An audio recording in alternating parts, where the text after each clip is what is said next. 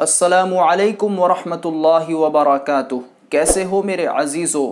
उम्मीद करता हूँ कि आप खैरियत से होंगे। अल्लाह ताला आपको ऐसे ही खुश रखे। आज एक नई क्लास के साथ मैं आपके सामने हाज़िर हुआ हूँ। जैसा कि हमने लास्ट क्लास के सबक में पढ़ा कि हरकत किसे कहते हैं? ज़बर ज़ेर पेश को हरकत कहते हैं। और ज़बर ज़ेर पेश को जल्दी पढ़ते हैं। और ज़बर की आवाज़ को भी हमने पहचाना कि ज़बर की आवाज़ कहाँ जाती है। यानी ज़बर की जो आवाज़ होती है, वो ऊपर को जाती है। इसमें मुँह खुल जाता है। और फिर हमने जाना कि अलिफ़ और हमज़ा में फ़र्क क्या होता है। अलिफ़ हमेशा खाली होता है, जो अलिफ़ खाली ना हो, वो हमज़ा बन जाता है। यानी जिस अलिफ़ के ऊपर या नीचे कोई भी हरकत आ जाए, ज़बर हो, ज़ेर हो, पेश हो तो वो हमज़ा कहलाएगा, वो हमज़ा बन जाएगा। तो कल के सबक में हमने ये सारी चीज़ें समझी थी। मैं उम्मीद करता हूँ कि आपको बहुत अच्छे तरीके से ये समझ में आया होगा और आपने इसकी प्रैक्टिस भी की होगी। तो चलिए, आज के सबक में आपको मैं बताता हूँ कि मरूफ़ किसे कहते हैं और मजहूल किसे कहते हैं। मारूफ़ कहते हैं, सही पढ़ने को और मजहूल कहते हैं, गलत पढ़ने को। फॉर एग्ज़ाम्पल हम एक लफ्ज़ ले लेते हैं, इबिली। हमज़ा ज़ेर ई, बा ज़ेर बी, ए बी, लाम ज़ेर ली। इबिली। ये लफ्ज़ जो है, वो लिखा हुआ है, इबिली। इसकी जो आवाज़ है, ई, बी और ली है। अगर कोई भी शख्स इसे ऐसे पढ़े हमज़ा ज़ेर ए, यानी ई की जगह उसे ए पढ़ दे, बी की जगह बे पढ़ दे, और ली की जगह ले पढ़ दे। जैसे बहुत से हजरात पढ़ते भी हैं जल्दीबाजी में एबे ले एबिली को एबे ले। तो वो गलत जो आवाज़ निकाल रहे हैं, इस आवाज़ को मजहूल कहा जाता है।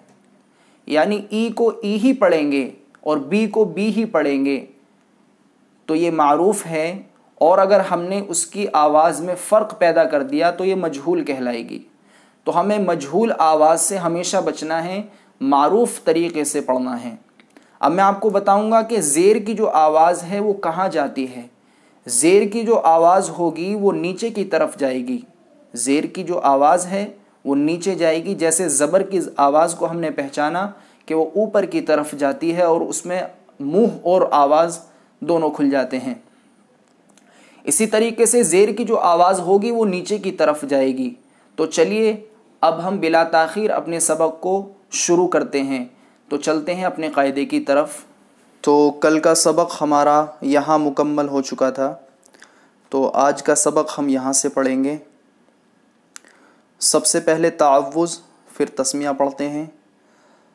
अऊज़ु बिल्लाहि मिनश्शैतानिर्रजीम बिस्मिल्लाहिर्रहमानिर्रहीम अब जैसा कि मैंने आपको वीडियो में शुरू में बताया कि ज़ेर को मारूफ़ पढ़ा जाए और मजहूल आवाज़ से बचा जाए। और ज़ेर की आवाज़ भी मैंने बताई कि ज़ेर की आवाज़ कहाँ जाती है? नीचे की तरफ़ जाती है। तो चलिए अब हम यहाँ से शुरू करते हैं। इसे पढ़ेंगे बिल्कुल जिस तरीके से ज़बर को पढ़ा था हमने, जल्दी से पढ़ा था, इसी तरीके से ज़ेर को भी हम जल्दी से पढ़ेंगे।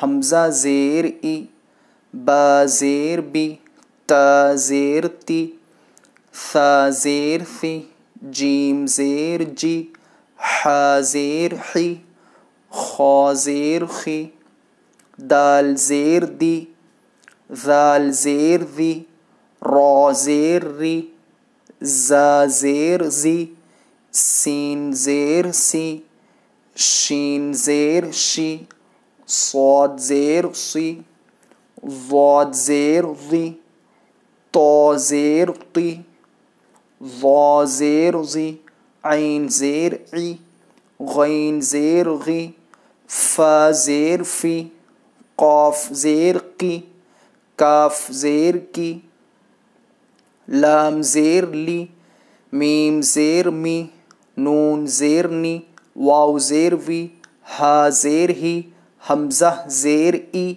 या ज़ेर यी, या ज़ेर यी। अब हम मश्क करते हैं इसकी, कि अभी तक हमने अलग अलग पढ़ा, अब हम पहले हिज्जे करेंगे, उसके बाद फिर इसको रमा पढ़ेंगे कल मैंने बताया था आपको कि हिज्जे किसे कहते हैं। हिज्जे कहते हैं, सबसे पहले हम एक हर्फ को पढ़ेंगे, दूसरे हर्फ को पढ़ेंगे, तीसरे हर्फ को पढ़ेंगे। अलग अलग जब हम तीनों हर्फों को पढ़ेंगे, ये हिज्जे कहलाना कहते हैं। और रमा कहते हैं मिलाने को। तो चलिए हम शुरू करते हैं। हमज़ा ज़ेर ई, बा ज़ेर बी, ई बी, लाम ज़ेर ली ई बी ली ई बी ली रॉ ज़बर रॉ दाल ज़ेर दी रदी फ़ा ज़बर फ़ा रदी फ़ा हा ज़बर हा मीम ज़ेर मी हमी दाल ज़बरदा हमीदा शीन ज़बर शाह हा ज़ेर ही शही दाल ज़बरदा शहीदा ये आपको मैं उम्मीद करता हूँ कि आपके समझ में आ रहा होगा कि किस तरीके से पहले हिज्जे करते हैं, उसके बाद फिर किस तरीके से इनकी आवाज़ों को मिलाते हैं। अब हम इसे पढ़ेंगे। सबसे पहले अब ये शुरू में हमने पढ़ा था कि एक नुक्ता बा के नीचे होता है तो इसे बा पढ़ेंगे। तो बा ज़बर बा, ये ख्वा है। ख्वा ज़ेर खी, बखी, लाम ज़बर ला बखीला सीन ज़बर सा ख्वा ज़ेर खी। इसकी आवाज़ थी सा और इसकी आवाज़ है खी। तो दोनों को जब मिलाया तो इसकी आवाज़ें बन गई। सखी, रॉ ज़बर रॉ। सखी रॉ। रॉ ज़बर रॉ। हाजेर ही। रही, मीम ज़बर मा। रही मा। लाम ज़बर ला। ज़ेर ई। लई बा ज़बर बा।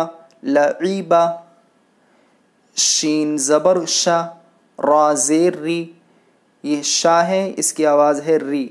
शरी, बा ज़बर बा, इसकी आवाज़ बनी बा। शरी बा, बिल्कुल जल्दी से पढ़ेंगे, बिल्कुल खींचेंगे नहीं। आइन ज़बर आ, मीम ज़ेर मी आमी लाम ज़बर ला आमीला ब ज़बर ब, रा ज़ेर री बरी क़ाफ ज़बर क़ा। बरी अच्छा इसकी आवाज़ को हमें पुर करना है। जो कि हमने शुरू में आपको बताया था कि हरूफ मुस्तालिया सात होते हैं जो हमेशा पुर पड़े जाते हैं। यानी पुर होने वाले हर्फ सात हैं, जिनकी मैंने आपको मश्क भी कराई थी। उनमें से सात हर्फों में से एक कौफ भी है। तो आपको इनकी पहचान भी करते रहना है साथ में कि वो कौन कौन से हर्फ हैं। जहाँ कहीं भी आएँगे, उन हर्फों को हमेशा हमें पुर करना है। अब जैसे ख्वा है इसकी आवाज़ भी पुर करेंगे तो है, इसकी भी आवाज़ को हम पुर करेंगे, यानी मोटी करेंगे। ख, ज़बर, ख। तो ज़ेर, ती। ख़ी फ़, ज़बर, फ़। खतीफ़ा जीम, ज़बर, जा। ज़ेर, ज़ी। जज़ी अच्छा इसमें बिल्कुल भी कंफ्यूज नहीं होना है। इसकी आवाज़ को बिल्कुल सही तरीके से निकालना है। जीम की आवाज़ जो होगी वो जा है और ज़ा की आवाज़ जी है। तो जज़ी ना पढ़ें, इसे जज़ी पढ़ेंगे। पहले जा, फिर जी। बहुत से हज़रात इसमें अक्सर गलतियाँ करते हैं। जीम और ज़ा में फ़र्क नहीं कर पाते। जज़ी, आइन, ज़बर, आ। जज़ी, आ। सीन, ज़बर, सा। क़ाफ, ज़ेर, की। सकी, मीम, ज़बर, मा। सकीमा गैन, ज़बर, ग। शीन, ज़ेर, शी।